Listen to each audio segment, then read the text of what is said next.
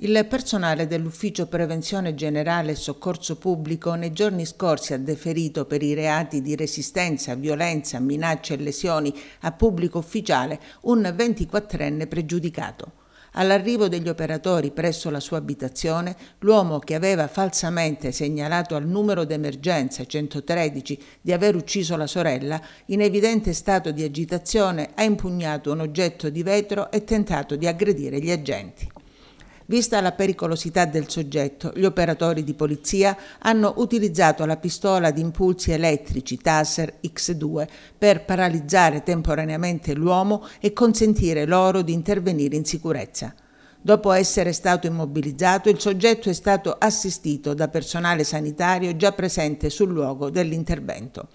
L'utilizzo della pistola ad impulsi elettrici ha evitato ulteriori e più gravi conseguenze per l'incolumità dell'esagitato e degli stessi operatori della Polizia di Stato.